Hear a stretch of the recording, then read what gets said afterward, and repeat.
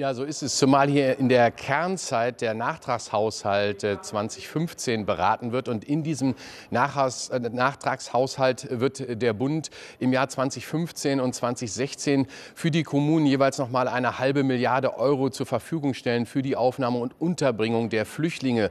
Ob das reicht, darüber wird natürlich nachher zu diskutieren sein. Und ich begrüße ganz herzlich bei mir den innenpolitischen Sprecher der CDU-CSU-Fraktion äh, Stefan Mayer und in der gleichen Funktion für die Bündnis Grünen Volker Beck. Und Herr Mayer, Sie sind seit Montag auch der Beauftragte für Flüchtlinge der CSU-Landesgruppe. Ihr Kollege Frieser ist Beauftragter geworden für die Integration. Äh, das ist ein Novum in der CSU-Landesgruppe. Ich darf daran erinnern, dass wir bei Lampedusa im Jahr 2013 auch ganz viele Diskussionen hatten. Passiert ist danach nichts. Die CSU-Landesgruppe reagiert jetzt nach den neuen Vorfällen und setzt einen Sonderbeauftragten ein. Warum das? Ich muss da gleich korrigierend darauf hinweisen, diese Einsetzung des Beauftragten jetzt für Flüchtlinge äh, erfolgt nicht als Reaktion auf diese schrecklichen menschlichen Tragödien jetzt im Mittelmeer, sondern insbesondere äh, auf den Umstand, dass, äh, wie Sie ja auch schon richtig erwähnt haben, wir natürlich auch in Bayern viele Kommunen haben, die ähm, unter diesen Herausforderungen äh, sehr zu ächzen haben, die Schwierigkeiten haben, Unterkünfte für Asylbewerber zu finden ähm, und äh, um auch hier eine stärkere Koordinierung auch vorzunehmen. Zwischen der kommunale, kommunalen, der Landes- und der Bundesebene war es aus Sicht der Landesgruppe wichtig, dass man hier stärker auch mit ähm, einem Beauftragten auch arbeitet. Und äh, ich äh, gehe diese Tätigkeit mit sehr viel Engagement und auch mit sehr viel äh, Leidenschaft an. Und es ist keine Reaktion auf diese Tragödien jetzt im Mittelmeer. Ich fand die Aktuelle Stunde, Herr Beck, gestern ganz beeindruckend hier im Hohen Hause. Es gab keine wüsten Schuldzuweisungen, keine Beschimpfung. Das wäre auch deplatziert. Und ich muss von außen sagen, mit Moral kommt man ja nicht weiter, denn das ist natürlich ein Versagen Europas, was wir da sehen. Äh, am Wochenende aufgeschreckt durch über 800 Tote. Aber mal ganz ehrlich, im letzten Jahr gab es alleine 3500 Menschen, die Mittelmeer ertrunken sind. Da ist auch nichts äh, passiert. Passiert immer nur etwas, wenn der Fokus der Kameras auf dem Geschehen liegt? Also man muss sagen, dass zumindest auf europäischer Ebene jetzt umgesteuert wird, liegt an dieser Tragödie. Äh, wir haben davor immer gewarnt, dass man Mare Nostrum einfach einstellt und äh, diese Aufgabe nur an Frontex in dem Programm Triton überträgt. Dieses Programm reicht nicht aus. Man, äh, der Radius, in dem man agiert, ist viel zu klein ähm, und auch die Zahl der Einsatzkräfte ist zu gering, um das zu bewältigen. Man muss sich auch fragen, wenn Sie jetzt aufgestockt haben, die Mittel für den Einsatz von Triton, bleibt das immer noch um ein Drittel hinter dem zurück, was Italien mit Mare Nostrum geleistet hat. Und Sie haben richtig gesagt, auch das war nicht perfekt, auch da sind noch Menschen ertrunken. Wir müssen aber alles ähm, tun, um Menschenleben zu retten. Das muss die erste Priorität sein. Wer im Wasser ist, da fragen wir nicht nach dem Status, sondern hier muss man den Ertrinkten vor dem Ertrinken retten. Das muss die Priorität der europäischen Politik sein und das ist sie immer noch nicht. Das, was auf dem Gipfel da am 20. besprochen wurde, ist nach wie vor im Wesentlichen doch ein Abschottungsprogramm. Wenn man hört, es, man denkt über ein Mandat für die Zerstörung von Schleuserschiffen nach, dann frage ich mich, auf welches Abenteuer man sich denn da einlassen will. Will man Bodentruppen, Bundespolizisten an die Küste Libyens schicken oder will man die aus der Luft zerstören? Ähm, äh, da, muss ich sagen, das ist nicht zu Ende gedacht und die Priorität muss erstmal sein, das Menschenleben, die Menschenleben zu retten und dann kann man gucken, ob man in Kooperation mit den Ländern, wo Schleuser Menschen ausbeuten, ähm, um ähm, Fluchthilfe zu leisten, ob man da mit Polizei vor Ort zusammenarbeitet arbeiten kann, um diesen Leuten das Handwerk zu legen. Es herrschen ja schreckliche Zustände in vielen Ländern, in Afrika zum Beispiel, Stichwort Syrien. Im Grunde genommen jeder Syrer, der hier bei uns an die Haustür klopft, müsste aufgenommen werden. Das Asylverfahren müsste positiv bescheinigt werden.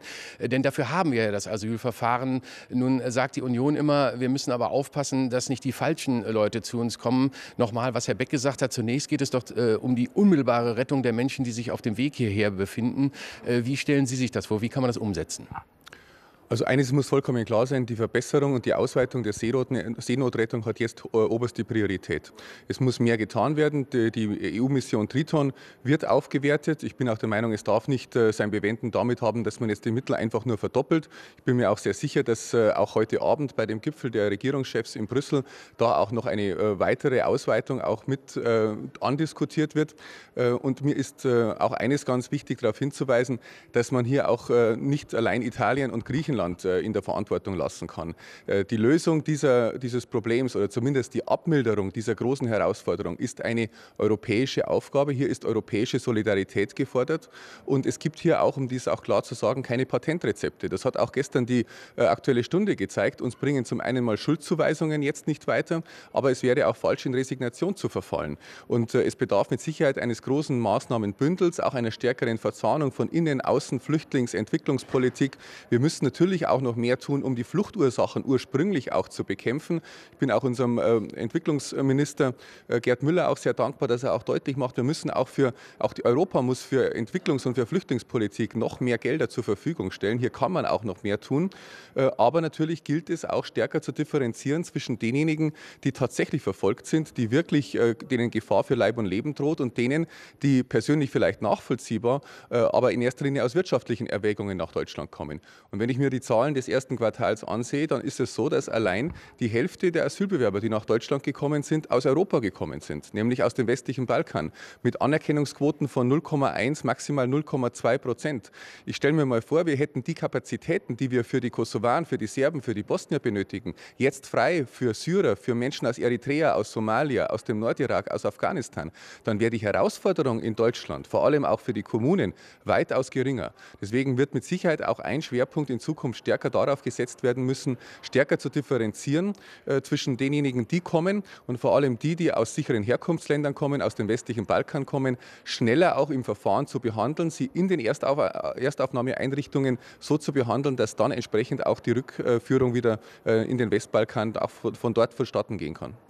Das Asylverfahren ist dafür da, dass Menschen hier Aufnahme finden können, wenn sie die Asylgründe erfüllen. Dazu müssen sie aber erstmal, Herr Mayer, nach äh, Deutschland äh, kommen oder nach Europa. Und das ist ja das Problem vieler afrikanischer Flüchtlinge. Dennoch, Herr Beck, äh, es warten alleine in Syrien über eine Million Menschen auf die Überfahrt. Da müssen wir jetzt sehen, dass diese Menschen nicht in Seelenverkäufer steigen und dann auch ertrinken. Aber wenn man allein mal diese gewaltige Zahl sieht oder die Gesamtflüchtlingssituation auf der Welt mit 51 Millionen, da muss man doch sagen, jedem und allem können wir hier es äh, doch gar nicht recht machen. Das werden wir sicher nicht können, aber wir können mehr tun als Europa. Wir müssen, wenn wir den Schleusern das Handwerk legen wollen, ähm, legale Zugangswege nach Europa schaffen. Und gerade bei Syrien ist es völlig klar, die meisten, die aus Syrien hier zu uns kommen, sind entweder als Flüchtlinge anerkannt oder bekommen subsidiären Schutz. Das heißt, die, das internationale Menschenrecht verlangt von uns, dass wir diese Menschen schützen. Dann sollten wir hier dafür sorgen, dass die Leute auch schnell ähm, ein, in einer größeren Zahl nach Europa, auch nach Deutschland kommen können, als das bislang ähm, der Fall ist und möglich ist. Und es ist auch die Frage, warum arbeiten, äh, arbeitet arbeitet Europa nicht stärker mit dem UN-Flüchtlingshochkommissar zusammen und sagt, du kannst vor Ort in den Herkunftsstaaten Leute als Flüchtlinge anerkennen und wir erklären mit einer Resettlement-Quote, wir nehmen davon eine bestimmte Zahl an Menschen auf. Damit würde man den Druck darauf, dass Menschen einfach ins Boot steigen, weil sie sagen, hier sterbe ich allemal, ich werde hier verfolgt, ich bin hier in einem Bürgerkriegsgebiet, ich habe hier nichts zu essen. Auf dem Boot überlebe ich vielleicht, vielleicht ertrinke ich auch. So, so ist ja die Alternative für viele Menschen. Die steigen ja nicht aus Jux und Dollerei da rein und die wissen, in welche Gefahr sie sich begeben, halten aber diese Gefahr immer noch für das geringere Übel gegenüber der Situation, aus der sie versuchen zu fliehen. Herr Mayer, legale Aufnahmemöglichkeiten schon in Afrika fordert auch der Koalitionspartner SPD.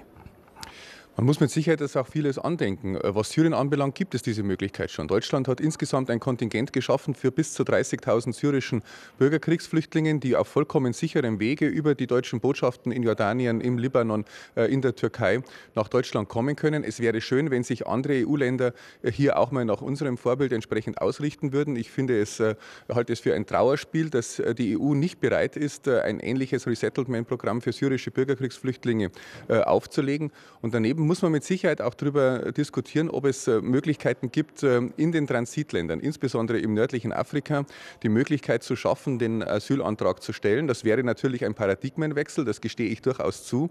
Aber um es auch noch mal klar zu sagen, es ist Europa nicht würdig, äh, dass vor den Toren Europas nicht die Freiheit wartet, sondern der Tod. Und hier muss entsprechend reagiert werden.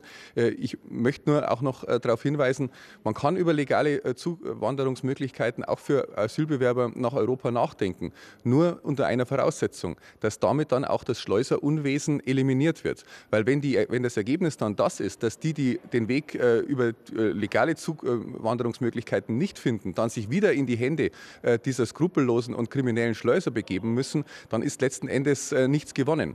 Äh, und hier muss man mit Sicherheit auch noch effektiver und nachdrücklicher äh, vorgehen gegen das Schlepperunwesen, wenn es darum geht, auch die Finanzierungsströme aufzudecken, zu bekämpfen. Hier kann auch Europa noch mehr tun. Darüber diskutieren sicherlich heute die Staats- und Regierungschefs. Lassen Sie uns noch mal einen Blick nach äh, Deutschland werfen. Das äh, Bundesamt für Migration rechnet mit 300.000 Flüchtlingen dieses Jahr. Wenn man die Situation so anschaut, die Beschlüsse heute Abend eventuell mit einpreist, sagen die Grünen und auch andere, das wären sicherlich mindestens eine halbe Million, wenn nicht sogar mehr für Deutschland. Aber die konkrete Situation vor Ort, Herr Beck, muss man sich mal angucken. Die Kommunen haben jetzt schon schwer damit zu kämpfen, die Menschen unterzubringen, die im Moment im Asylverfahren sind. Wir haben es gerade gehört, 60 Prozent von diesen Menschen sind noch aus Osteuropa. Demnächst wird es wahrscheinlich sich umdrehen und afrikanische äh, Flüchtlinge werden hier 60 äh, Prozent, 70 Prozent ausmachen. Die Probleme vor Ort, wie wollen Sie die lösen? Sie fordern mehr Geld. Ja, natürlich. Man muss den Kommunen helfen. Die normale äh, Bund, Länder, Kommunen Finanzverteilung bei Flüchtlingsfragen setzt, geht davon aus, dass es sich um geringe Zahlen handelt. Das ist aber nicht die aktuelle Situation. Die Kommunen können so eine Situation nicht aus eigener Kraft stemmen. Deshalb muss der Bund hier seine Anstrengungen verdoppeln. Diese halbe Milliarde, über die gleich im Bundestag diskutiert wird, reicht da bei weitem nicht aus. 2015, 2016 nochmal eine halbe. Ja, aber es werden ja auch 2015 und 2016 zu, zu, zusätzliche Menschen Menschen aller Voraussicht nach kommen. Und was mir völlig schleierhaft ist, warum angesichts dieser Situation, wo die Kommunen enormes leisten, die Leute vor Ort, um Unterbringungsmöglichkeiten in ihrer Stadt, in ihrer Gemeinde jeweils zu suchen, macht der Bund einen Flüchtlingsgipfel und lädt die Spitzenverbände der kommunalen ähm, äh, Vertretungen nicht mit ein. Das finde ich wirklich kurios, weil vor Ort muss es gemanagt werden. Das machen nicht die Landesregierungen, die können das koordinieren, aber die reale Arbeit und die realen Probleme haben die Kommunalpolitikerinnen und Kommunalpolitiker lieber, vor Ort. Lieber Herr Beck, Sie wissen ganz genau, dass nach unserer Verfassung der Ansprechpartner des Bundes die Länder sind. Wir haben kein direktes Zugriffsrecht, keine direkte Zugriffsmöglichkeit auf die Kommunen. Ansprechpartner äh, des Bundes sind nun mal nicht die Kommunen, sondern sind die Länder. Und um zu, diesen, zu dieser Milliarde mal was zu sagen. Die Länder haben diesen Vertrag mit dem Bund Ende November letzten Jahres geschlossen. Äh, Im Bewusstsein dessen, dass die Zahlen zunehmen äh, und auch mit dem klaren Inhalt, dass diese Zahlung abschließend ist. Ich bin ja durchaus der Meinung, dass der Bund noch mehr tun kann und auch noch mehr tun wird, um die Länder zu unterstützen. Aber mir geht es vor allem um die Unterstützung der betroffenen Kommunen. Und was ich nicht möchte, dass die Länder klebrige Finger bekommen und die Gelder des Bundes abgreifen und und nicht an die Kommunen weitergeben, die wirklich die großen Herausforderungen zu meistern haben. Und was mir auch noch wichtig ist, wenn die Länder mehr Geld wollen und auch bekommen, dann müssen sie auch, ihre Beding müssen sie auch bestimmte Bedingungen erfüllen und auch Voraussetzungen äh, erfüllen. Zum Beispiel, äh, indem sie auch stärker die Personen abschieben, die kein Recht auf Asyl haben, indem sie auf Wintererlasse verzichten, indem sie mehr Erstaufnahmeeinrichtungen äh, vorhalten. Also es kann nicht sein, dass die Länder nur die Hand aufhalten wie die Raupe Nimmersatt und ihrerseits aber nichts dazu tun, die Situation zu verbessern. Herr Beck, wir wollen, nicht, wir wollen jetzt nicht weiter über Geld streiten, weil Geld ist natürlich in einem reichen Land wie Deutschland durchaus äh, da. Die Frage ist, wofür man es verwendet und wofür wir es verwenden müssen. Vor Ort sieht es doch mittlerweile so aus, dass die Aufnahmekapazitäten, die man geschaffen hat, jetzt voll sind. Man muss dann neue schaffen. Dafür wird sicherlich äh, Geld notwendig werden. Aber man muss auch darauf achten, so wie das Bernd-Jürgen Schneider gesagt hat, der Hauptgeschäftsführer NRW Städte- und äh, Gemeindebund. Äh, man muss auch aufpassen, äh, dass die ganze Situation nicht überdreht wird. Sportvereine, die ihre Sporthallen seit Monaten zur Verfügung stellen. Äh, Bürger, die äh, freiwillig Flüchtlinge unterbringen, neue Flüchtlingsheime, die in der Nachbarschaft gebaut werden und bisher durchaus positiv angenommen werden. Es gibt ganz viele positive Beispiele. Leider müssen wir von der Presse immer den Finger auf die negativen Beispiele legen. Das tue ich hier auch mal. Zum Beispiel hier in Berlin äh, ziehen heute gerade 75 Flüchtlinge, also im Asylverfahren befindliche Flüchtlinge, in ein zweites Containerdorf ein. Da hat es am Montag einen Angriff auf die Wachleute gegeben. also auch dieses gibt es mittlerweile schon in Deutschland. Wie will man denn denn dem Vorschub leisten? Ja, indem man vorausschauender handelt. Und deshalb plädiere ich eben dafür, dass man die Kommunen stärker unterstützt, damit sie vorausschauend Aufnahmenkapazitäten ähm, schaffen können. Also wir diskutieren in den Kommunen, das weiß ich aus meiner Heimatstadt, gegenwärtig auch, wo wir einen Baugrund haben, um entsprechend Unterkünfte auch neu bauen zu können, um zuzubauen, um, um dann äh, Kapazitäten zu haben, wenn die Leute vor der Tür stehen und nicht, wie wir es jetzt leider oft haben, gucken, haben wir irgendwo noch eine Turnhalle, haben wir womöglich einen Platz, wo wir Zelte aufstellen, weil wir gerade keine Unterkunft haben.